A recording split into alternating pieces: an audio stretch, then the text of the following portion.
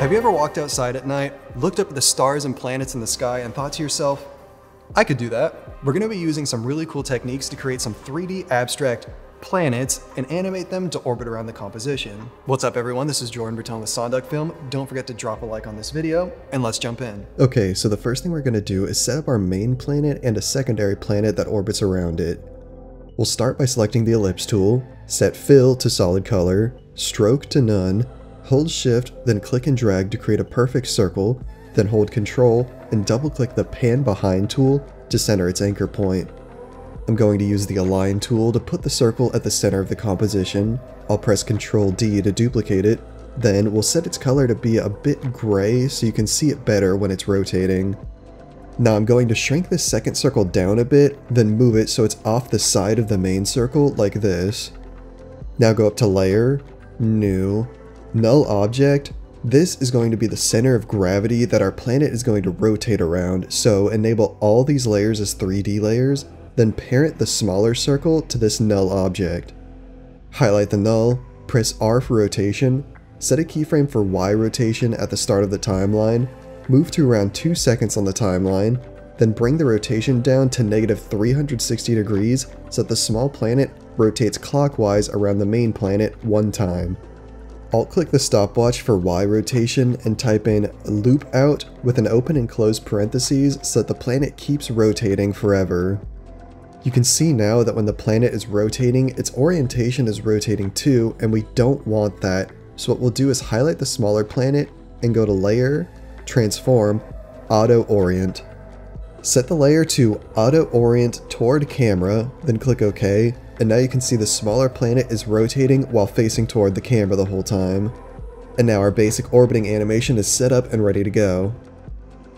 When you start a project, the first thing you typically want to do is get the layout and the basic animation complete as this sets the groundwork for the rest of your project which will allow you to expand upon it. As you can see up to this point in this tutorial, everything here looks very basic, uh, but from here, we're gonna be able to take this plain composition and really take it to the next level with texturing and then creative effects. Next, we're going to be shading our planets to give off a cool dynamic eclipse effect.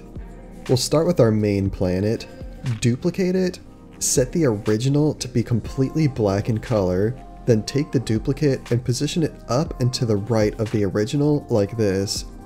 Now go up to Effect, Channel, Set Matte, and Effect, Blur and Sharpen, Gaussian Blur. Set the matte to take matte from the original circle layer underneath of it, increase the blurriness of the Gaussian blur all the way up to around 180 or so, then duplicate the set matte effect and drag the duplicate underneath of the blur effect. Now, when we move around the top circle layer, you can see this dynamic eclipse shadow effect.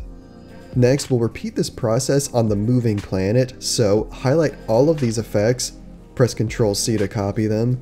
Highlight the small planet, duplicate it, then press Ctrl V to paste all the effects in to the duplicate. Set the color of the original small planet to be completely black, then go into the effects of the duplicate, reduce the blurriness down to around 50 or so, and for both set matte effects, make sure you change the take matte to be the original small planet layer instead. Now, when you move the duplicate, you can see it has the same effect as the main planet. To make sure the shading shows up properly on the smaller planets when rotating, press P for position on the duplicate and move it back by about 30 or so on the z-axis so that the two layers don't clip. Lastly, go to Layer, New, Adjustment Layer, then go to Effect, Noise and Grain, Noise, set the noise to around 20% and uncheck Use Color Noise. Now our planets have proper shading with this nice dynamic eclipse effect on them. And now, a word from our sponsors. Us. You probably know that making motion graphics can sometimes be difficult and time consuming. So to fix that problem, we've made thousands of templates to help you save time and produce awesome work under one single subscription price. You can easily preview templates from any of our packs just like our Motion Graphics Advanced pack here and just click apply. Then you can easily modify the parameters of the template and you're done. So if you're looking to get some assistance in advancing your business or career, check out every template we have with our links below. Finally, we're going to add some stars to our composition, add some post-processing effects, and duplicate some planets. To add stars, all we need to do is go to Layer, New, Solid. Make sure the solid is fully white, then click OK. Now put that layer just above the background layer and go up to Effect, Simulation, CC Starburst.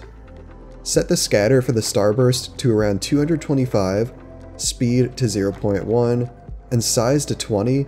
Now we have a nice slow moving field of stars behind our planets.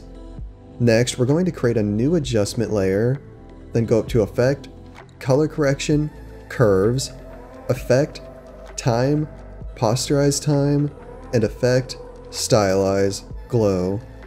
For the curves, we'll take the RGB curve and bring it slightly up and to the left. Then we'll change over to red. We'll bring the bottom left down a tad, then bring the top right up a bit. When it comes to effects that you're going to use in a creative setting, like for example the curves effect that we're using right now, there's so many different ways to use this effect to help enhance your work. The curves effect is a great coloring and compositing effect that you can use for your compositions because you can color each of the individual channels RGB and also affect the brightness and the contrast of your scene. Uh, so really it's just a matter of playing around and over time you'll get experience with this effect uh, and be able to fine tune your project much quicker. But it's very important that you go ahead and experiment with the curves effect to get the right color grade and mood that you're looking to accomplish. For posterize time, we'll set the frame rate to 12 to give the animation a choppier look. For glow, set the threshold to 40%, radius to 500, intensity to 0.3, glow colors to A and B colors, color looping to sawtooth B greater than A, and set color A to a nice light blue. Duplicate the glow, increase the radius to 1000, and finish things off by enabling motion blur on all the layers. If you want to add more planets to the composition, all you need to do is highlight the two shape layers for the small planet as well as the null object they're parented to, duplicate them, then move just the planet layers wherever you like on the composition.